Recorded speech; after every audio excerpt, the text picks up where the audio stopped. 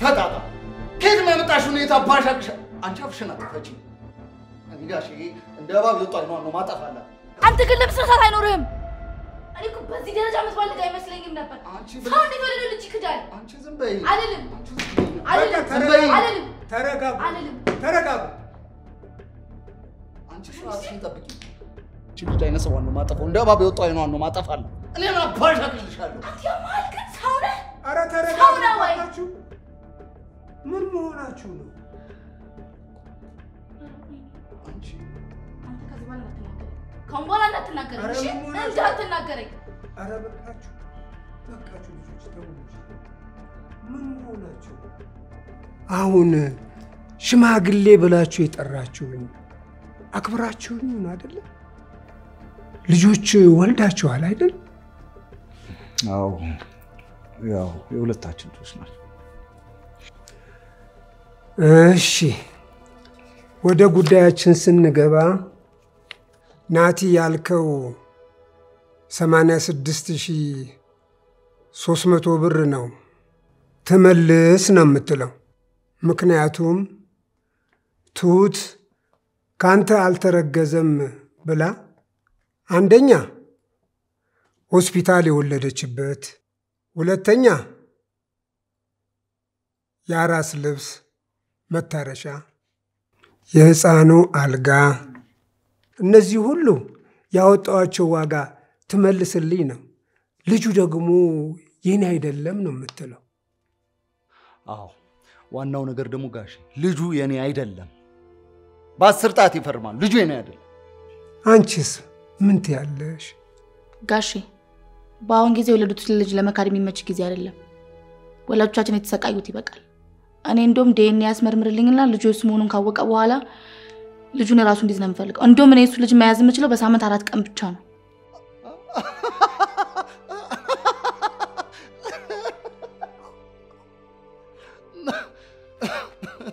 ጋሽ ይቅርታ፣ ጭራሽ ጎባጣ ጎረምሳ ጋር ተኝተሽ ያመጣሽውን ልጅ እኔ በሳምንት ሶስት ቀን እሹ እያልኩ ልጠብቅልሽ አይደል? ስታይኝ እንዴት ነው ፊቴ ረዘም ሲል ማሞ ቂሎን እመስልሻለሁ? ጅል እመስልሻለሁ? ገልቱ ችል የሆንከውማ የወለድከው ልጅ ካድ ቀን ነው። እሺ አይ ስነ ስርዓት ዴ እኔ እዚህ ተቀምጬ እንደዚህ ሁለታችሁም እንደዚህ አትናገሩ። እኔ ላስመማችሁ ነው። እኔ ላስመማችሁ የምለው የጠየቅኳችሁን ብቻ መልሱልኝ። ሌላ ነገር አንተም አንቺም ከመናገር ተቆጠቡ። አሁን ልጅ ተወልዷል።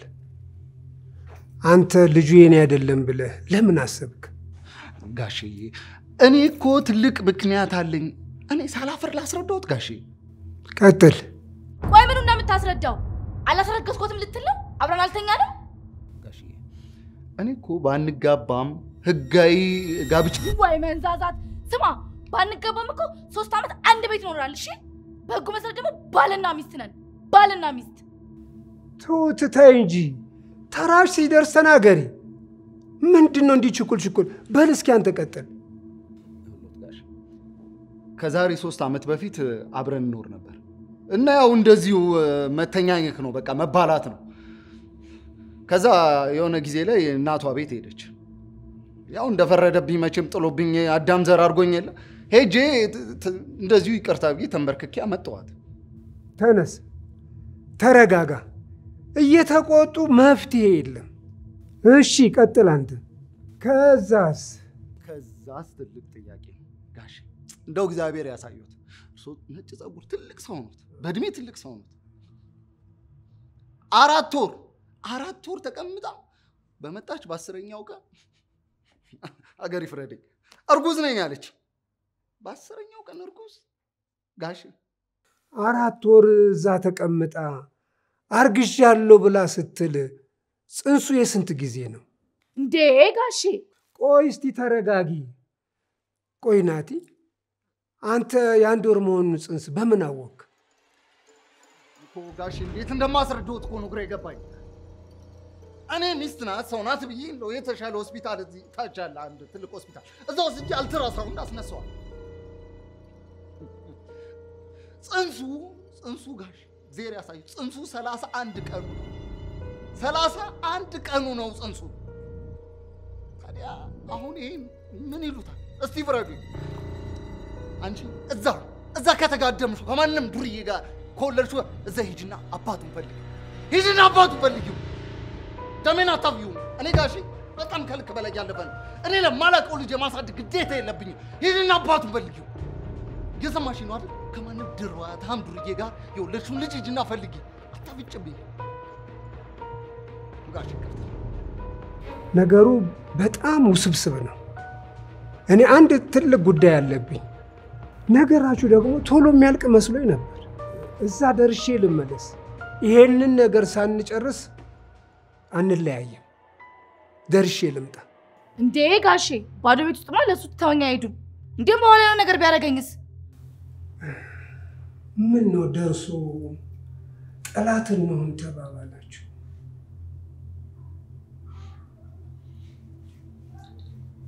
ልጅ ናትናኤል እስኪ ደርሼ እመጣለሁ ብለህ እኔም አንተም እሄዳለሁ ብለህ ያልከበት ቦታ አለና እኔም እዛ ደርሼ ልምጣ።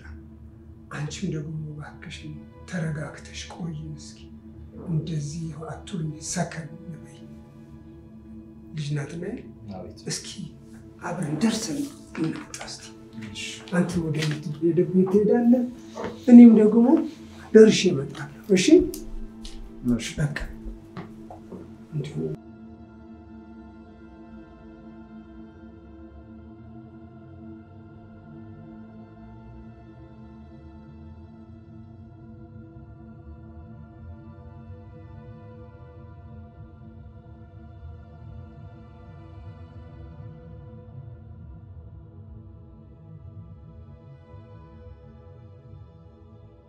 እኔ የምልህ የኔ ልጅ በዚህ ጉዳይ ላይ ምን ያህል እርግጠኛ ነህ? ጋሼ የአያቴን ቀን ይስጠኝ። በጣም እርግጠኛ ነኝ። እንዴ ዝም ብዬ እኮ አይደለም እኮ የምናገረው። እዛ ቤት ሰውየው በተደጋጋሚ ሲሄድ አየዋለው። ደግሞ የቅርብ ጊዜ ተከራይ አይደለም፣ ረጅም ጊዜ ነው እዛ ቤት መኖር ከጀመረ። ጥርሱን ነቅሏል። እንዴ የሸበተበት ቤት እኮ ነው። እኔ አውቃለሁ በእርግጠኝነት። ጋሼ እኔ ለምን ያለፉኛል? በጣም እርግጠኛ ስለሆንኩ እኮ ነው። ፈለገ ነገር ቢሆን እሷ እንዴት እንደዚህ ታደርጋለች? እንዴትስ አንተ እንደዚህ ታስባለህ? ባለቤትህ እኮ ነች። አይ ጋሼ እኛ እኮ ልጅ ነው የያዘን እንጂ ድሮ ድሮ ነበር የምንፋታው። ምን ቆይ መስሎት ነው? ድሮ ነበር የምንፋታው። የልጅ ነገር ሆኖብን ለምን ቢባል ለምንድን ነው የምትፋቱት? በሆነ ጨዋታ መሃል አንድ ሀሳብ ከተነሳ የእሱ ስም ሳይጠራ አይቀር እንዲህ አባቷን ስም እንኳን እንደሱ እኮ ደጋግማ ጠራ። እኔ ባጭሩ እኔ አሁን ይገናኙ አይገናኙ ይውደዳት አይውደዳት አላቅም፣ ግን ባጭሩ እኔ እንዳምን የሚያደርገኝ አንዲችም ምክንያት አላየውም። የኔ ልጅ ለምን እንደጠየቅኩ ታውቃለህ? አይ አላቅም። ለምንድን ነው? አየህ ልጅ እርግጠኛ ባልሆንክበት ነገር ላይ ሽምግልና ከገባው አይሆንም፣ መጨረሻው አያምርም። ልጁ እውነት ያንተ ሆኖ ከተገኘ አንተ ላይ ቅጣት መጣል አይቀርም። ስለምታደርገው ነገር እርግጠኛ መሆን እፈልጋለሁ። አ- አ- አ። በፍጹም ጋሽ እሱ ላይ እንኳን አያስቡ። ያየሁትን ነገር በእርግጠኝነት መመስከር እችላለሁ። ስለዚህ ይሄ ነገር መቆም የለበትም ማለት ነው። አዎ እንዲህ የስ እንዴ እውነቷማ ሳይታወቅ መቆም የለበትም። እውነቷ ተፍረጥርጣ መውጣት አለባት። እሺ ጉዳዬ ጋር ሄጄ ጨርሼ እስከምመለስ እቋጨዋለሁ። እሺ ደስ ይለኛል። ለማንኛውም አንተም ወደምትሄድበት ሂድ፣ እኔም ደርሼ ልምጣ። እሺ ጋሽ፣ ለማንኛውም በቃ እሺ፣ ስራ ገባለሁ። እንውረድ በቃ።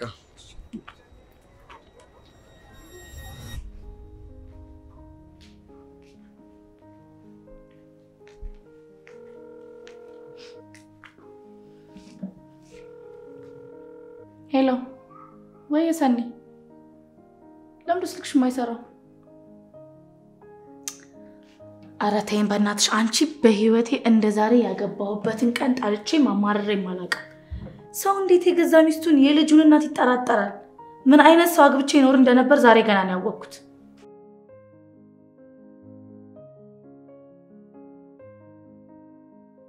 እሱ እኮ የራሱ ህይወት አለው፣ አግብቶ እየኖረ ያውቃል። ቆይ እሱ ምንድን ነው ግን እንደዚህ የሚያደርገው?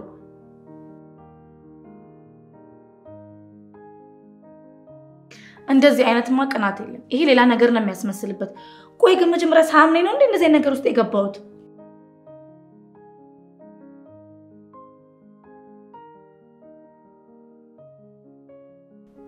ያኔም ታስታውሺ ከነበር ትልቁን የኔ አይደለም ብሎ ዴን ያስመርምረው እንደነበር ታውቂያለሽ።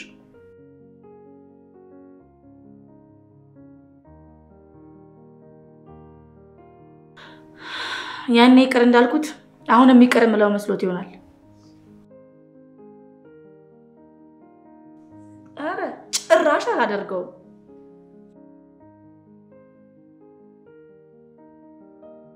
ኧረ ውይ አላረገውም። በእውነት ራሴን ያቀልልኩ ያህል ነው የተሰማኝ።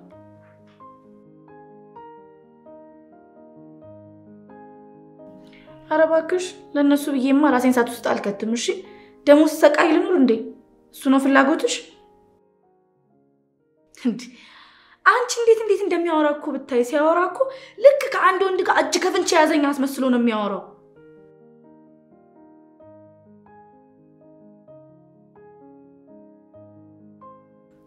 እሱማ ቀላል ነው።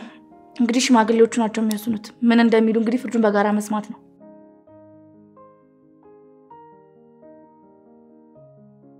አዎ በቃ ለማንኛውም ጓደኛዬ ስላላስፈታሽ፣ እሺ በቃቸው። መልካም ቀን።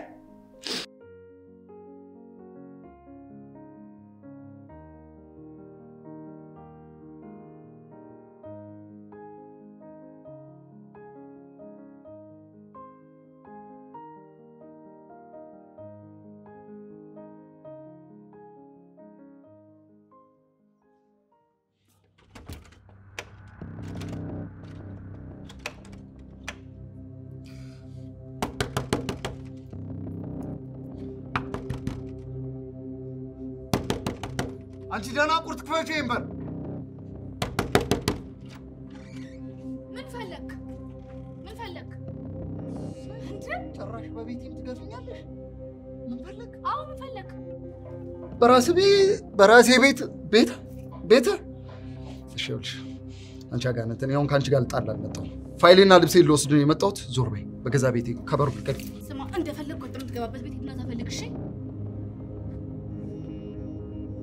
ግን አንቺ ግን እንደዚህ የሚያንጨረጭርሽ ሚያው ሚያው የሚያስብልሽ ግን ቆይ ጥፋትሽን ለመደበቅ ነው አይደለ? እንዳላቅ ነው አይደለ? እኔ እ? ነው ወይ? ለነገሩ ይብላኝ ለአንተ። እኔ ስቺ ጉዳይ ትለቅልኝ እንጂ አንዱን ደህና ሰው ፈልጌ ያገባለሁ። ለማየት ያብቃ።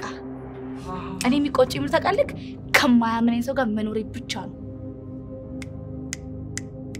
ቢንጎ አጋችው አየሽ፣ ከእኔ ጋር ለመኖር አትፈልጊም ነበር ማለት ነው። አንቺ እንደውም ጭራሽ ከእኔ ጋር ከመስማማት ይልቅ ለመለያየት ነበር የምትፈልጊው? ከዛ ከአንድ መንደር ካስቸገረ ወጠምሻ ጎረምሳ ጋር ተጋድመሽ ልጅ ወለድሽ አደለ? ይሄ ነው የአንቺ big story። ነውረኛ ልክ እንደዚህ ስታወራ እኮ ጻድቅ ነው የምትመስለው? ከሱም በላይ እኮ ደግሞ ነቅተኝ የምታውቅም አትመስልም። ቆይ ኧረ ቆይ ግን ላለመወሻሸት እኔ እናቴ ቤት እያለሁ አንተ ስንት ጊዜ ተመላልሰህ አብረን አልተኛ ነው? ስማ ሽማግሌዎቹ ፊት አላዋረድህም ብዬ ነው እንጂ በተደጋጋሚ መተህ ግንኙነት ማድረጋችንን ትክዳለህ። እኔ ከዛሬ ነገ ነገሩ እንዲፈታ ብዬ ነው ዝም ያልኩት። እሺ ዝም በይ። ሂጂና እዛ የምትሸውጂውን ሸውጂ። እዛ የለመድሽው አታስብ፣ እውነትን ለያዘ ሰው መልስ መያዝ አይጠበቅበትም። እሺ ወይዘሪት ወይዘሮ አልልሽ መቼም በሰላም መፍታት ምናምን የሚለውን እሱን ፊልም ላይ ፈልጊው። ይልቁንስ ቀጣይ ለሚመጣብሽ ጥያቄ ተዘጋጅተሽ ብትጠብቂ ነው የሚሻለው። በሰላም መፍታት ምናምን የሚለውን ነገር እርሹ፣ ከአይምሮሽ አውጪው። ስማ ባይሆን አንተ ተዘጋጅበት። እሺ ከመሬት ተነስተህ ለበጠበጥከው ትዳር ሙሉ ጥያቄና ሙሉ መልስ ያስፈልግሃል። አሁን አታስቢ፣ እውነቱ በቅርብ ቀን ይወጣል። ምንም እንዳታስቢ። አሁን ይኸውልሽ ዞር በይልኝና ከቤቴ ፋይሌን ላውጣ። አይ መግባት አትችልም፣ ቅድም እንዳይገባ ብሏል። እንግዲህ ህጋጣስ ስራዬ ይበላሽብኛል። እባክሽ ፋይሌና ልብሴን ላውጣ። ዞር በይልኝ። ደንቃራ አትሁኝብኝ። ዞር በይ፣ ዞር በይ። አይሆንም፣ አትገባም። አንቺ እንዴት ብትርቂ ነው ግን? እንዴት ብትርቂ ነው በገዛ ቤቴ? ልትመታኝ ነው? ና ምታኛ። ነገሩ ያችን ቤት መትቼ እኔ አላበላሽም። ሰምኛለሽ? ከማንም ከማንም ከካም ጎረምሳ ጋር ተጋድመሽ ለመጣሽው ልጅ እንጃ ልንገራት በሰ የሞት አሳ ነባሪ መሰለው ፊትሽን ባጠፋው ደስ ይለኝ ነበር። ዝም በይ ዝም! አልልም። ለምን ነው ዝም የምለው? አንቺ ሴጣን ውስጥ አታስገብኝ። ዝም በይ እኮ ና ምታኝ። እንጂ አንቺ ሁለት አይንሽን ነው ማውጣው።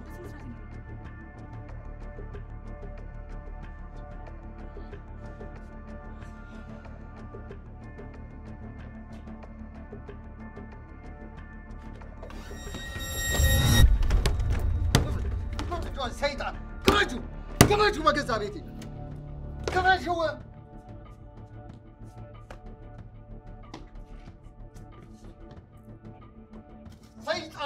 ሰይጣን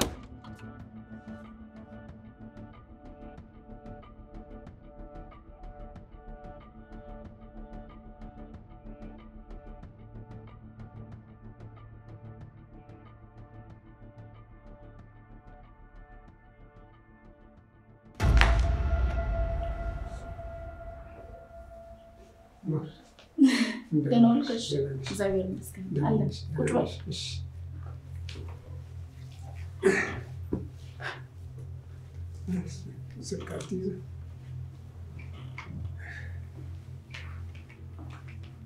እንግዲህ ይቅርታ፣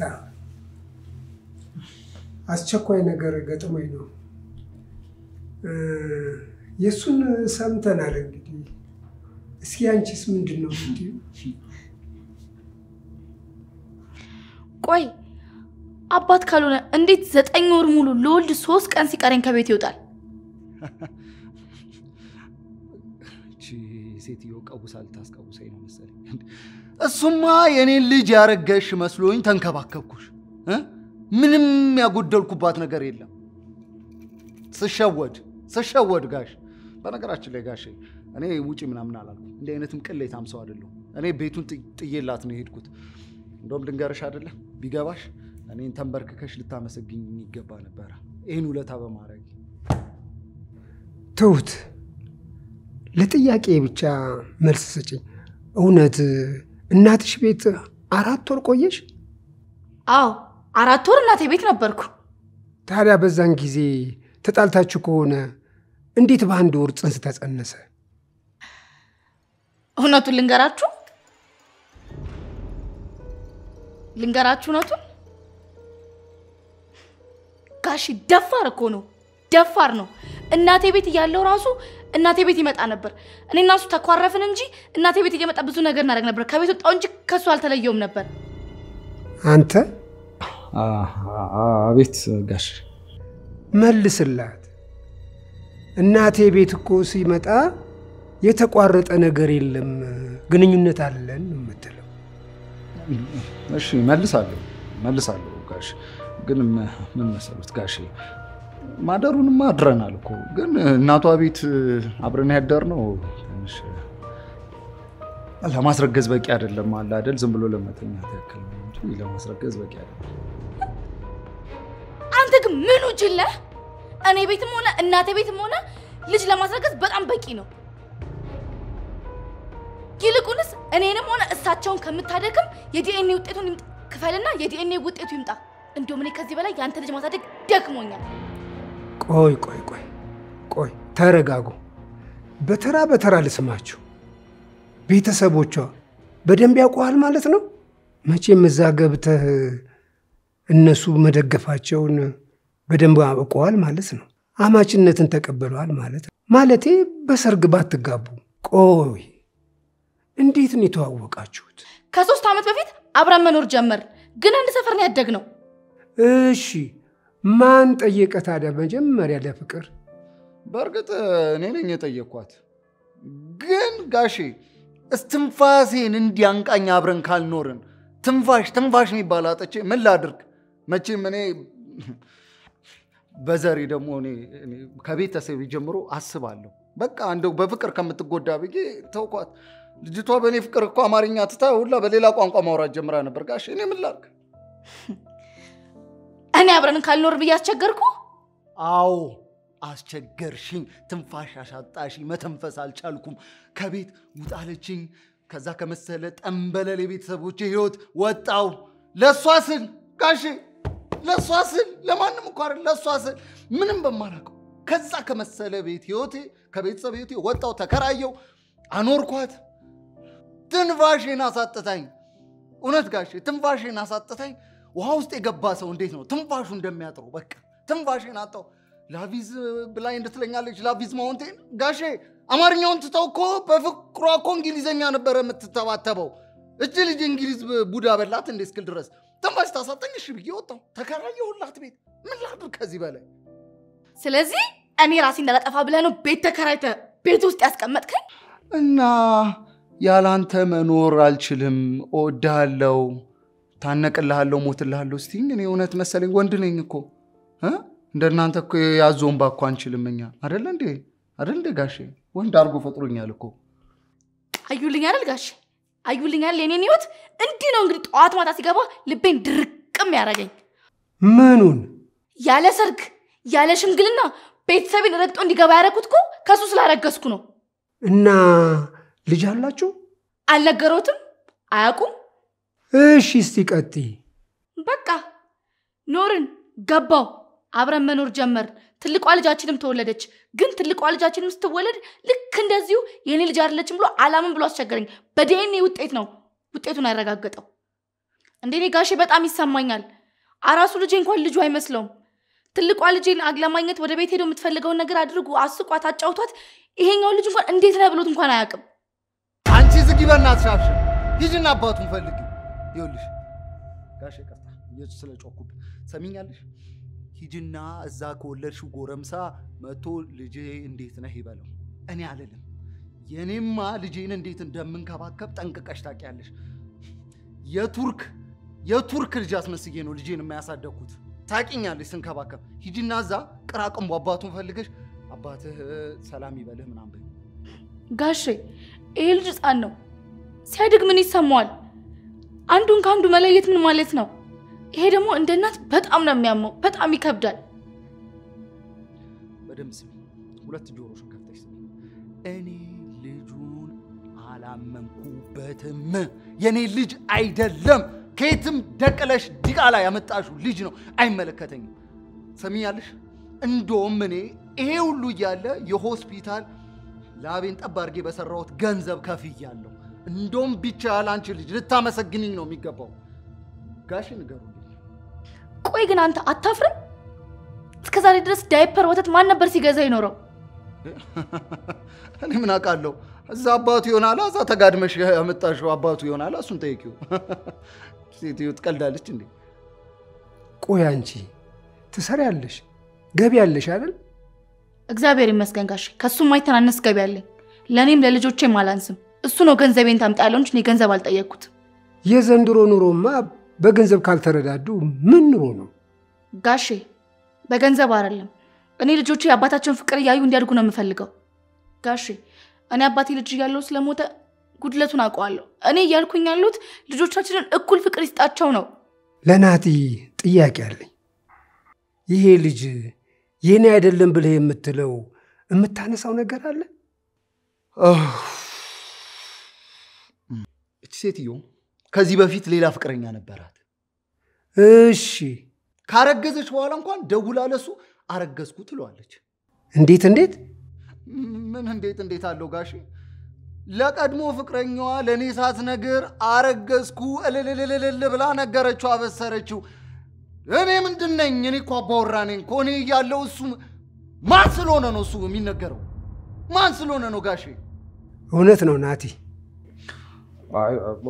እውነት ነው እውነት ነው ጋሼ። መደወል ደውያለሁ፣ ግን እኔ የምደውለው የትልቋ ልጄን ያለችበት ሁኔታ ለማወቅ ነው። ያው ያለ እኔ ስለማይሆንላት ነው። አንተ የልጅ ነገር አሳስበው ማለት ነው ጋሼ። ቅናተኛ ስለሆነ ነው እንጂ እናቴ ጋር ደውሎ ስለ እኔ መጠየቅ ይችላል። ምንድነው ሰራተኛ ቀጥሮ ገንዘብ ከፍሎ ሰላይ ይመስል በየ- በየቤት የሚያሰለኝ? ናቲ እውነት ሰላይ ያቆመህባት ነበር?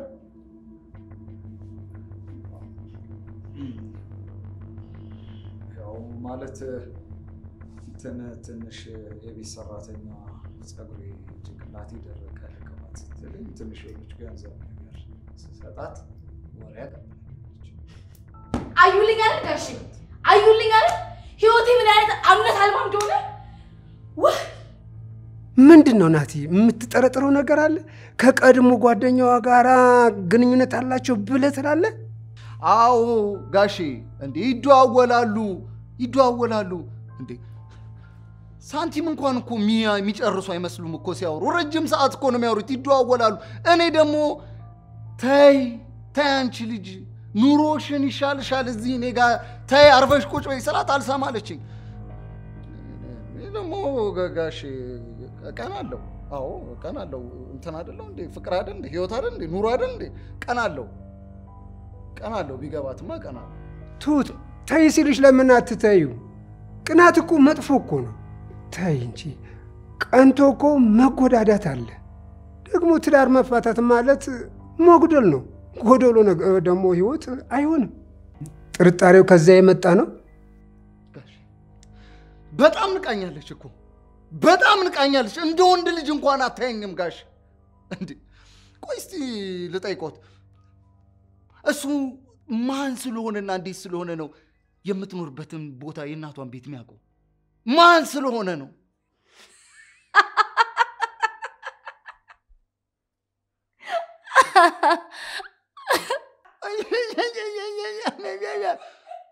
አታሽካኪ እንደ ዶሮ አንቺ። አዎ እውነቱ ሲነገርሽ እንዲህ ያስቃል አደለ? አዎ እናቷን ቤት በደንብ ያውቃል ጋሽ። ለመደበቅ ነው የምትለው የምታሽካካው ለመ- ለመደበቅ ነው። በደንብ የእናቷን ቤት ያውቃል። እናቴ ግቢ ብዙ አመት ተከራይ ነው። በእርግጥ ተዋደን ነበር፣ አልተግባባንም፣ ተለያየን። ጋሽ እሱ ቅዠታም ነው። የድሮ ፍቅረኛ የእናቴ ቤት ተከራይቶ ነው የሚኖረው። አሁን ግን ባለትዳርና የልጆች አባት ነው። ምንድን ነው የምታወራው? ቆይ አንተ ውይ ቤተሰብ ናቸው። አዎ ይኸው ሆን ብላ ሆን ብላ በክፋት ተነሳስታ እኔን ትጣላኝና ትልቋን ልጄን ይዛ እናቷ ቤት ትሩጣ ትሄዳለች። ሆን ብላ ጋሽ፣ በክፉ ልቦናዋ ተነሳስታ ነው። ተንኮል ነው፣ ሴራ፣ ሸርጥ ነው ይሄ። ሆን ብላ ነው ጋሽ። በነገራችን ላይ ጋሽ ለእሱም ፍላጎት አላት ፍላጎት አላት። ጋሼ ነገርኩት፣ ምንም አይሰማም። እሱ እንኳን እኔን ራሱን እንኳን አያምንም። እንግዲህ አንድ ውሳኔ ላይ እስከምንደርስ እኔም ጓደኞቼን አመካ- አማክርና አንተም ደግሞ እስከዛው ሌላ ቦታ ላይ አርፈህ መጥተህ ይሄንን አንድ ደረጃ ላይ ማድረስ አለብን። እንደውም ይዘውልኝ ሂዱ ይሻላል። እስከዛ አንቺ ደግሞ ተረጋጊ እሺ። በልሽ እኔ እናንተ ደግሞ አይዞሽ እንግዲህ ልጄ። አዎ፣ እግዚአብሔር መቼም ከእናንተ ጋር ያሁን እርቀ ሰላሙን ያወርድላችሁ። ኧረ ሰው እንዴት ከሴጣን ጋር ቀሰላም ያደርጋል? ዲያብሎስ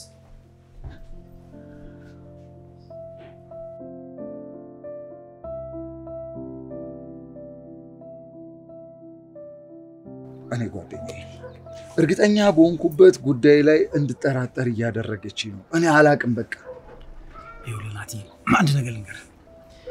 ይሄ በአንተና በእሷ መካከል ያለው ግጭት ለልጆቻችሁም ሳይኮሎጂ እጅግ በጣም ከባድ ነው። ስለዚህ እኔ ሳስበው ብትስማሙ ነው የሚሻለው።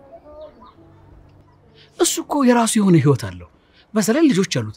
እንደዚህ የሚያደርግ ይመስላል ግን ኧረ አንተ ትቀልዳለህ። የድሮ ፍቅረኛዋን አግኝታ እንዴት ነው የሆነ ነገር አይፈጠርም ብዬ ማስበው? ትልቅ ሰዎች እኮ ነን።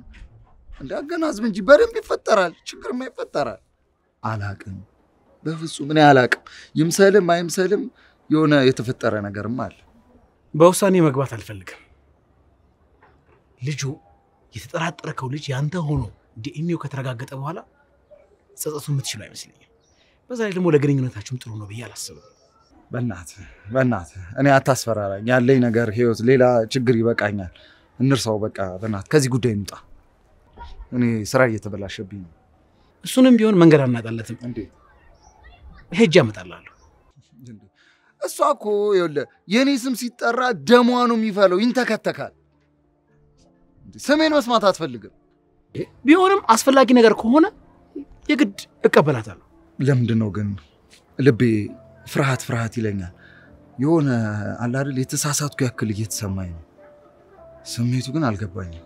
ታውቃለህ፣ ቅድም ሽማግሌው ጋር ሆና ስትናገር ያሳለፍነው ነገር በጣም አይምሬ ላይ እየተመላለሰ ነበርና በዛች ሰከንድ የሆነ ልቤ ፍርሃት ፍርሃት አለኝ። ናቲ፣ ቢሆንም አንተ ጋር እውነትም ቢኖር መጀመሪያ መረጋጋት አለብህ። በዚህ ሁኔታ በፍጹም ልታሸንፋት አንተ ጋር እንኳን እውነት ሆኖ ቢኖር ማሸነፍ አትችልም። መጀመሪያ ከራስ ጋር ተግባባ። ናቲ፣ ትክክል አይደለም ሰሞኑን እኮ ልክ ነህ። አንድ ውሳኔ ላይማ መድረስ አለብኝ። ያለበዚያ ነገሩ እኔ ላይ ነው የሚንጠመጠመው። የሆነ መፍትሄማ ግድ መኖር አለበት። አዎ ለዛ ነው እኔ እንዲህ ያልኩ። ለማንኛውም የምትፈልገውን ፋይል ንገረኝና ይዤ ልምጣ። እሺ ምን ሆነሽ ነው ልጄ? ሁኔታሽ ግን አላማረኝም። እኔ እንጃ ጋሼ፣ ቀኑ ራቀ። በጣም ፈራው። በዛ ላይ ከመሀል መጥቶ እንዳይጎዳኝ ሰጋው። ልጄ እንደዛ እኮ አይደረግም። እኔ ነግረዋለሁ፣ አትጨነቂ። አላቅም ብቻ ጠዋት እርሶ እንደወጡ ተከትሎ መጥቶ ሊያስፈራራኝ ሞከረ። ለምንድን ነው ከፍርድ ቀን በፊት እንዳትመጣ ብዬ አልነበረም? እንዴ እንዴት መጣ? ምን እንዳለ አላውቅም። እሱ ፊት ያልነገርኩት ፈርቼ ነው። ልጄ ሁሉም ነገር በጊዜ ይፈታል፣ አትጨነቂ፣ አይዞሽ። ቆይ ግን እርሶ ሲያስቡት እንዴት ነው ልጁ ያልሆነን ሕፃን ልጅ ነው ብዬ የማከብራችሁ ትልልቅ ሰዎች ፊት እሱን አቆመዋለሁ? ልጄ አንቺ የራስሽ እውነት ካለሽ ምንም ነገር አትጨነቂ። ያውቃሉ ጋሼ ባልና ሚስት በልጅ መጣላት ከጀመሩ መተማመን ካቃታቸው ምን አይነት ጊዜ ላይ እንደደረስን ግን አስበውታል? እውነቱ ወደ አንቺ ሲያደላ ጥፋቱ የእሱ ሲሆን ወደ በኋላ ወደ ፍቅራችሁ ትመለሳላችሁ። ጋሼ መቼም እዛ ምርመራ ድረስ ሄደን ወደ ድሮ መመለስ አልፈልግም። ምክንያቱም እኔ ከማያምነኝ ሰው ጋር አብሬ መኖር አልፈልግም። እንደሱ አትበይ። ሽማግሌ ለማስታረቅ እንጂ ለማፋታትማ ፍርድ ቤት አለ አይደለም እንዴ? እድሜ ልኩን የተጠራጠረኝ ነው የሚመስለኝ። አውቃለሁ። ለምትወጁ ነገር ሁሉ ይቅር ማለት አለብሽ። ቢሆንም ጋሼ አለመታመን ግን በጣም ይጎዳል ያው ደስተኛ የምትሆኙ በምትወጁ ነገር ነው ብዬ ነው። ነው ብለው ነው ይሁን እስኪ ለማንኛውም አግኝቼው አወራዋለሁ። ከፍርዱ ቀን በፊት አንቺ ብቻ ነሽ በዛ ቤት የምትኖሪ። እሱን ደግሞ በደንብ አስረዳዋለሁ። እሺ ጋሼ በጣም አመሰግናለሁ። ካላስቸገርኩ ግን በዛውም ቀኑን ቀረብ ያድርጉት። እሺ እንሞክራለን። አንቺም ተረጋጊ።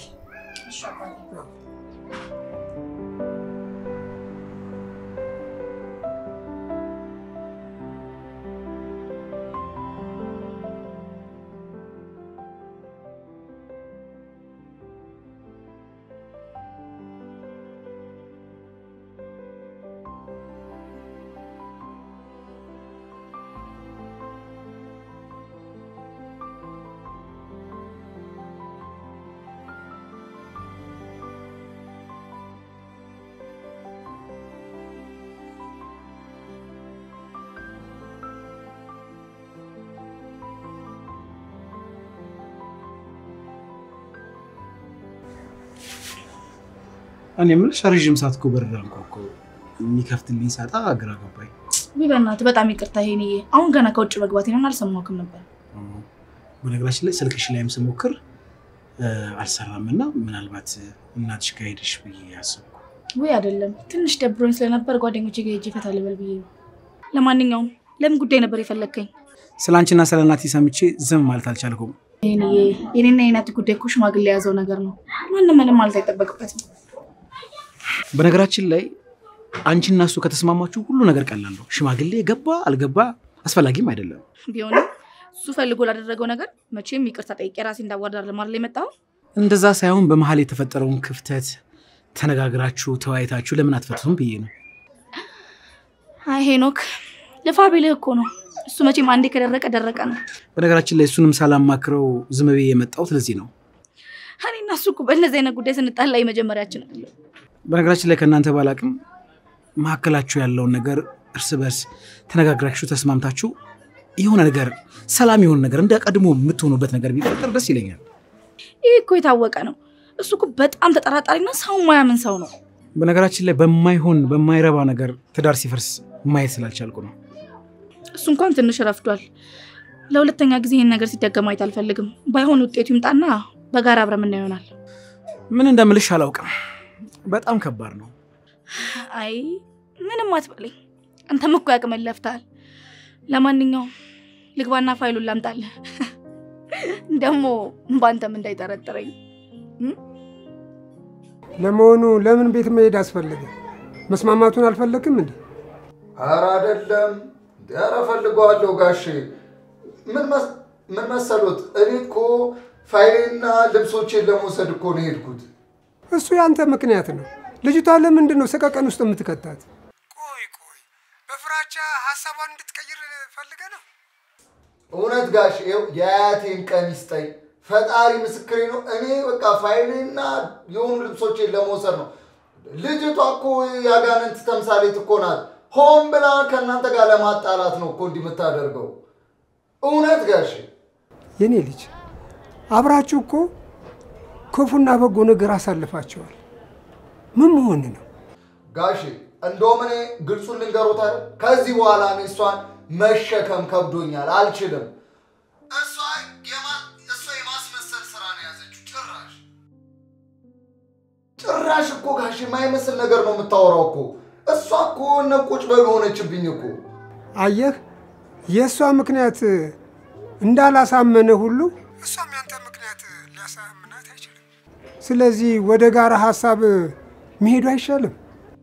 እ- ይኸው ለዛ እኮ ነው ጋሼ፣ ለዛ እኮ ነው እርሶ ስላልገባሁት እኮ ነው። እኔ እርግጠኛ ነኝ፣ በደንብ እርግጠኛ ስለሆንኩ እኮ ነው።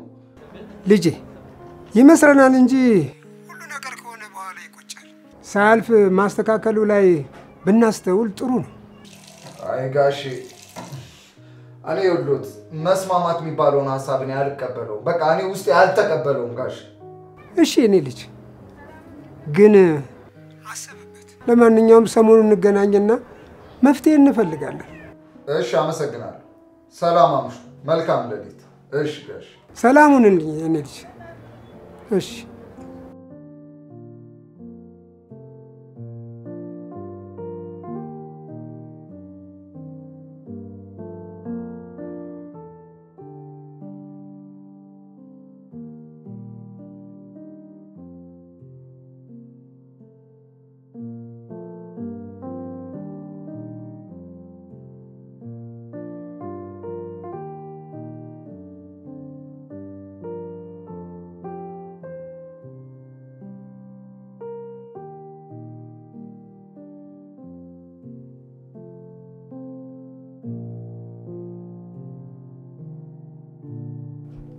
ዛሬ ለመጨረሻ ጊዜ ጉዳያችን መቋጨት አለብን። እኔም ጓደኞቼን አማክሬ ዲኤንኤ ተመርምሮ ዛሬው እዚችው ውጤቱ መታወቅ አለበት። ያንንም ደግሞ አንተ ትከፍላለህ። ጋሼ እንዲሁም ጥሩ መፍትሄ ነው። የምፈልገው እሱን ነው። እርፍ። ታዲያማ ጥሩ ሀሳብ እኮ ነው። እኔ ከፍላለሁ ጋሽ፣ እኔ ከፍላለሁ። ትሁት፣ አንቺ እርግጠኛ ነሽ የልጁ አባት እሱ ነው? አዎ አባት ነው። አንተስ? ማ እኔ ኧረ እኔ አይደለም፣ በፍጹም ሊሆን አይችልም ጋሽ። እኔ ጋሽ አንድ ነገር ልንገሮት አይደል፣ እቺ ነገር በዲኤንኤ ተመርምራ የእኔ አለመሆኗ ከተረጋገጠ የአያቴን ቀን ይስጠኝ ጋሽ። ከዚች ልጅ ጋር ጋር ያከትማል። ድሮም አክትሟል፣ አሁንም ያከትማል። የራሴ ነው። እኔን እንደ ማንም ተራ መንደርተኛ ልክስክስ ሴት ሊያዋርደኝ ስለፈለገ ነው። የፊታችን ማክሰኞ ጠዋት ሁለት ሰዓት ከሰላሳ እንገናኝ። ትዳር እንደዚህ መመቻቻል ነው እና ውስጣችሁ ቂም ይዛችሁ ትዳር አይዘልቅም። ኧረ በስመ አብ ታውቂያለሽ፣ እኔ በጣም ነው የተሰማኝ። እንዴት እንዳዋረደኝ እንኳን አልገባሽም።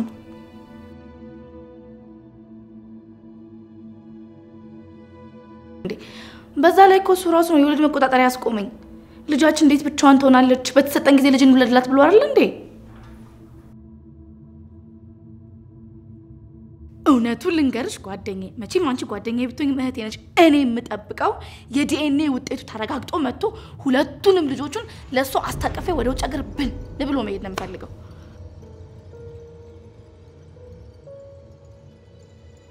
እንዴ አዎ እባክሽ እንዴ በዛ ላይ በጣም ከባድ ነው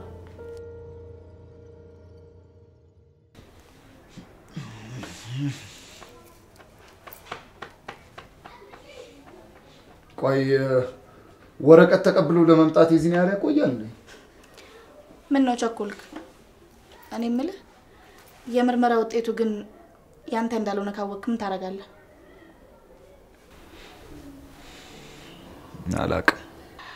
አየህ እኔ ግን ምንም ቢሆን ስላሳለፍናቸው የፍቅር ጊዜያቶች ብዬ ይቅር ልበለው አልበለው እያልኩ እያሰብኩ ነው ታውቃለህ መተማመን የሌለው ትዳር በጣም ነው የሚያስጠላው እንዳላምንሽ የሚያደርጉኝ ብዙ ምክንያቶች ስላሉ ነው። ትዳር እኮ ምክንያት አያስፈልገውም ታውቃለህ መተማመን ብቻ በቂ ነው ግን አንድ ጥያቄ ልጠይቅሽ። ከማንም ሰው ጋር ግንኙነት አላደረግሽም? በተለይ ደግሞ ከዛ ከድሮ ጓደኛሽ ጋር ምንም አይነት ግንኙነት አልፈጸምሽም? ቆይ ግን ስታስበው ትዳር ጨዋታ ነው ነው ወይስ ለአንተ ትዳር የሚመስለው ወረቀት ላይ ሲሆን ብቻ ነው ኦ፣ እኔ እንደዛ አላልኩም። ግን አንቺ የመስማማት ፍላጎቱ ካለሽ ለምን ያን ያህል አስቆምሽም? እ? በጣም ብዙ ጊዜ ላስቆም ሞክሬ አውቃለሁ። ነገር ግን አንተ ጥፋቴን የምሸፋፍ መስሎ ስለሚሰማህ አንድ ቀን ሰምተኸኝ አታውቅም። እኔ ግን እውነቱን ስለማወቅና ከነገሩ በኋላ አብረ መቀጠል ስለማንችል ለዛ ብዬ ነበር ነገሮችን ላስተካክል ሞክሬ ነበረው። ለማንኛውም ሲመጡ ደውይልኝ። ቆይ አሁን ይመጣሉ እኮ ወዴት ነው የምትሄደው? መጣሁ። እዚሁ አካባቢ ነኝ። እመጣለሁ። እሺ እንደፈለክ ናቲ ምንድን ነው እንደዚህ አጣድፈህ የጠራኸኝ? ምን በእናትህ ዛሬ ኮሜዲ ውጤት የሚመጣው እና ይምጣ ታዲያ ማለት ይምጣ። ልጁ የኔ አይደለም ስትል አልነበር እንዴ? ምንድን ነው እንደዚህ confidence ን ያጠፋው? እ? ምንድን ነው ያልፈሰፈሰ? ልጁ የኔ አይደለም ካልክ ዲኤንኤው መጣ አልመጣ already እኮ ያንተ አይደለም። ምንም ያስፈራ የአሁኑ በጣም ያስፈራል። እንዴ ትንሽ እንኳን እኮ አልፈራችም። እርግጠኛ ሆነ እኮ ነው የምታወራው። እሱማ የታወቀ ነገር ነው እኮ። መጀመሪያ መስማማት ነበረባችሁ። አሁን ሽማግሌ ገባ፣ ጉዳዩ ሄዶ ሄዶ ሄዶ ዲኤንኤ እስኪባል ድረስ ዲኤንኤ ደረጃ ድረስ ድሮ መፍታት የሚችለው ነገር ትልቁ የሚያስፈራው ነገር ደግሞ እውነታውን ካየ በኋላ ከኔ ጋር ያለህን ነገር እዚህ ጋር ታቆማለህ ብላለች። ጥያቄ ልጠይቅህ ናቲ፣ ምን አሰብክ? ማለት ማለትማ እውነታውን አውቆ መጋፈጥ ወይስ እስከ መጨረሻው መለያየት? አላቅም፣ ብቻ በጣም ተወዛግቤ ያለው ጭንቅላቴ ሊፈነዳ ደርሷል። እኔ አላቅም። ብዙ ጊዜ ግን ችግሩን ለመፍታት እንሞክር ምናምን ብዬ ነበረ። አንተ ነህ ለመለያየት የፈለግከው ነው የምትለው። ከአንተ በላይ የሚቀርብ ጓደኛ የለኝም። ምን ትመክረኛለህ? ናቲ፣ እኔ ሀሳብ መስጠት አልችልም። ዲኤንኤው ከመጣ በኋላ ልጁ ያንተ ሆነም አልሆነ መለያየታቸው አይቀርም። ምክንያቱም የዲኤንኤ ውጤቱ ብቻ ደስ አይልም። በዛ ላይ ደግሞ ውጤቱ ምንም ይሁን ምን አንደኛ ለአንተ ስላልታመነች በጣም ደስ አይላትም። ሁለተኛ መጠርጠሯ እጅግ በጣም comfort ነው የሚነሳት። ወይ ደግሞ ካልሆነ ሄጄ በቃ ዲኤንኤው ይቅር፣ ሰላማችን ይሻላል፣ ልጄ ነው ብዬ ልመን እንዴ? እ? ምክንያቱም ልጄ ከሆነ ጸጸቱን እድሜ ልኬን አልችለው። ናቲ እኔ ብቻ አላቅም። ከዚህ ነገር ውስጥ እኔ ፍጹም የለሁበትም። ይሆናል ያልከውን አድርግ። እኔ እዚህ ውስጥ አልገባም። ጉዳዩ በጣም ትንሽ ከረር ያለ ጉዳይ ነው። ለማንኛውም የሆነ ነገር አደርጋለሁ። ጸልይልኝ እስቲ። አንተን እንኳን ይሰማሃል። ምላስህም ጥቁር ስለሆነ ፈጣሪ ጋር ቀጥታ ነው የሚደርሰው። ስማ፣ መልሱን እስካሁን ፈጣሪ ብቻ ነው የሚያውቀው። ሽማግሌዎቹ መጥተው ውጤቱን ከመክፈታችሁ በፊት ለማንኛውም እኔ ጋናና ትንሽ ለቅለቅ ብለህ ትገባለህ። የምን መልስ? ትቀልዳለህ እንዴ? እንደውም ጓደኛዬ ቁርጥ አድርጌ ልንገርህ አይደለ እግሯ ስር ተንበርክኬ ወድቄ ይቅርታ አድርጊልኝ ብዬ ልጁን ባምን ይሻለኛል። በቃ በቃ ለማንኛውም ተረጋጋ፣ ደውልልኝ። በቃ ምንም ችግር አይዞህ። እሺ፣ ቻው። በቃ እንዴ አንቺ እንዴት ሆንሽ እንኳን ተብሎ አይደወልም። እኔስ ታዘብኩሽ። ቢሆንም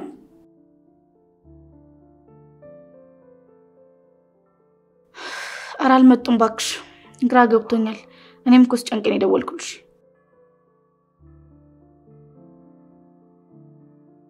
አይ አይደለም፣ ግን አለ አይደለ እንደዚሁ ዝም ብሎ ጭንቅ ጭንቅ የሚልሽ ነገር እሱ ነው እንጂ ሌላው ቀላል ነው።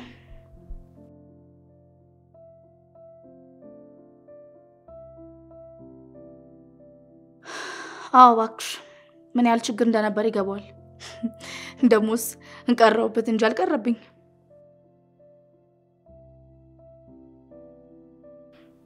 ቆይ አንቺ ግን አሁንም ስራ ላይ ሆነሽ ነው?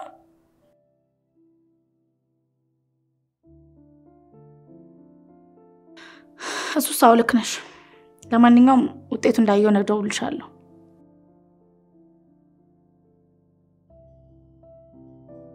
ተይው እባክሽ። ለማንኛውም እንደዋወላለን። እሺ ቻው ውዴ። በቃ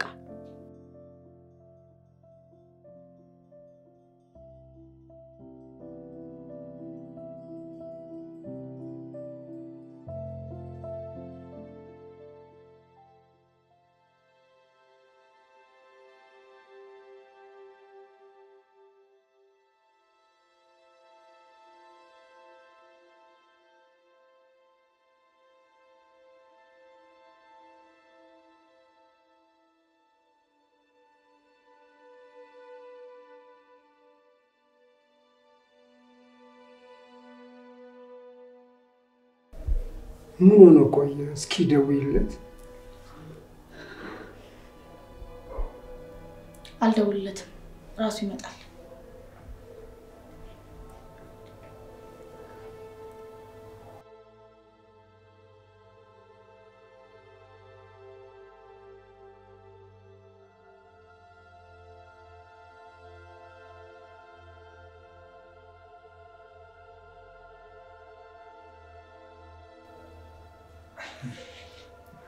ጋሽ ቆየሁ አይደለም። ይቅርታ ትንሽ አንድ ችግር አጋጥማኝ ነው። የስራ ጉዳይ ሆኖብኝ ነው። ምን ሆነ? ቆየ ትንሽ የሆነች የስራ ነገር ጉዳይ አጋጥማኝ ለዛ ነው። ይቅርታ በጣም ጥሩ አይደለም። እንደዚህ ሰው አስቀምጠህ ይህን ያህል ጊዜ መቆየት። ይቅርታ ትንሽ ቢሆንም እኛን ልታከብረን ይገባ ነበር። አዎ አውቃለሁ፣ እሱማ ጥፋት ነው። ግን ያው ለመልካም ነገር ነው የቆየሁት። ይቅርታ ጋሼ። አዎ ከመጣህ ወደ ዋናው ነገር እንሂድና ውጤቱን ልክፈተው። ጋሼ ከዛ በፊት ግን አንድ ነገር እንድናገር ቢፈቀድልኝ ደስ ይለኛል። በእውነት ጋሼ እኔ በጣም ነው የምወድህ፣ በጣም ነው እንደ አባቴ ነው ማይ። ግን አንተንም ጓደኞችንም አስለፋኋችሁ።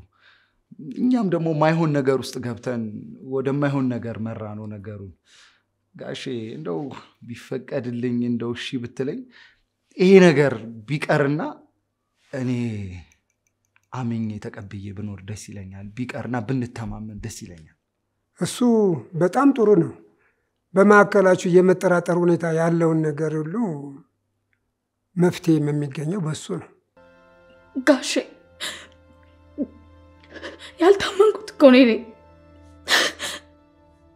እኔ እኮ ነኝ አመነዘረች ተብዬ የተከሰስኩት እኔ ነኝ እኮ። ይሄ ነገር መች ነው ከጭንቅላት የሚጠፋው?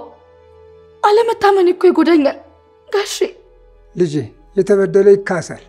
ቆይ እንዴት ነው እኔን ለማመን ማስረጃ ከሚፈልግ ሰው ጋር የምኖረው? በዳይሽ ሊክስሽ አይደለ? እሽ ከኔ ይቅር ትቼዋለሁ። በቃ በተረጋጋ ነገር አስቢ። ትልቁ ነገር እሱ ነው። ጋሼ ቢሆንም እሷን ልክሳት እፈልጋለሁ። ማለት ጥፋቴም ገብቶኛል እና እሺ ብትለኝና ብንስማማ ደስ ይለኛል ጋሼ። አይኖ በጣም አጥፍቻለሁ፣ በድያታለሁ። እሷን ማመን ነበረብኝ። ግን ከተቻለም ጋሼ ውጤቱን ባየው ደስ ይለኛል። ያው እኮ እሱ ልጁን አምኗል። ግን እ፣ ውጤቱን ልክፈተው። አይሆንም። ተስማማን አይደል እንዴ? ምንም እኮ ችግር የለውም። ብንስማማም እኮ ወረቀቱን ብናየው እኮ ችግር የለውም። አለ አይደለ እንደው የበለጠ ደስታውን ለመጨመር ነው እንጂ ደሜ እንደሆነ እኮ አውቀዋለሁ እኮ ልጄ አብራኬ ክፋይ ኧረ እንደው ችግር አይደለ? አንድ ጊዜ የሆነ ነገር ነው። ያው እናንተ ብትተማመኑም መታየቱ ግን ጥሩ መሰለኝ። ኧረ ዝም እንደው እንደው ለማየት ያክል ነው። ምን ያህል ፐርሰንቱ እኔን ፊቱ ይመስላል መልኩ ለማለት ነው እንጂ ደሜ እኮ ነው ጋሼ።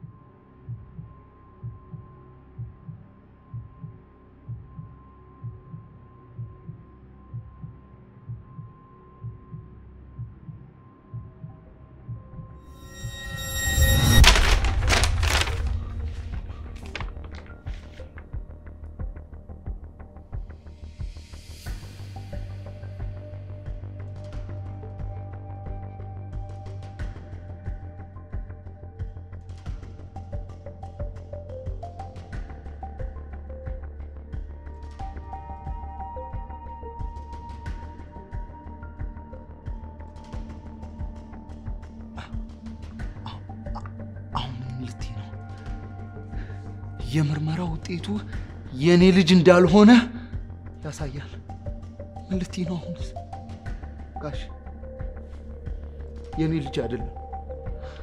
የእኔ ልጅ እንዳልሆነ እኔ የተቀመጠው ጋሽ ጋሽ አንድ ነገር በል እንጂ ይህንን ሁሉ ጊዜ እያወቅሽ ነው ያለፋሽ? እንዴት ሊሆን ቻለ? ዝም በይ። አሁን ለመከራከር በሉ ከእውነታ በኋላ የምለው ነገር የለም።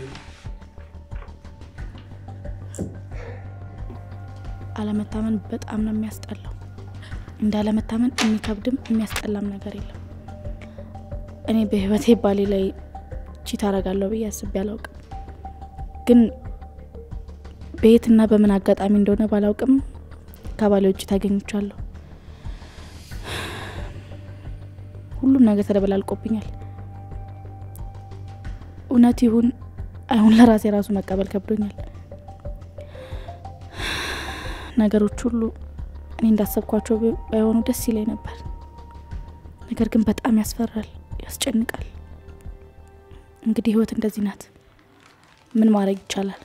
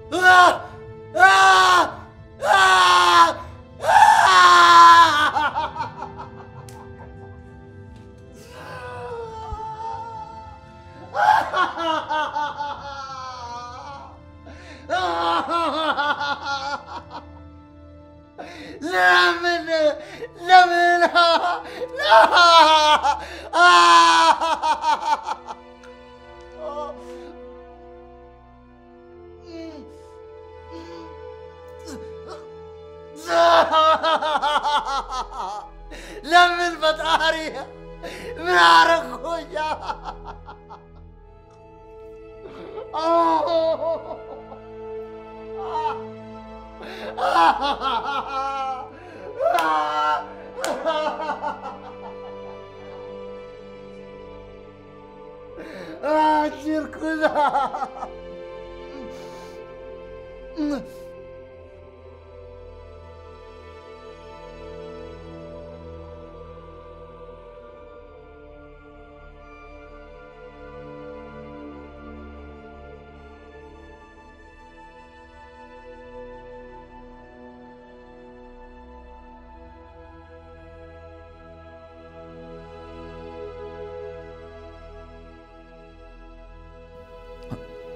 ማለት አንድን ነገር ያለ ማስረጃ ማመን ማለት ነው። አባትነት እምነት ነው ሲባል ማረጋገጫ ሳያስፈልገን የምንቀበለው ጸጋ ነው። ለእምነት መጉደል መተማመኛ ፈጣሪ ስለሆነ ፈጣሪ መውደቂያን ጉድጓድ ቀድሞ እየደፈነ በተኛህበት አንድ ነገር እንዳትሆን ያነቃህን ፈጣሪህን አመስግን። በዚች ምድር ላይ አታላይና ቀጣፊው ብዙ ነውና